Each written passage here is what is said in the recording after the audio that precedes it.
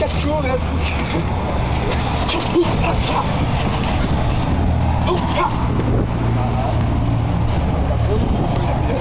continua, a gente corta depois vai na edição, vai. Ah, faz a parte do.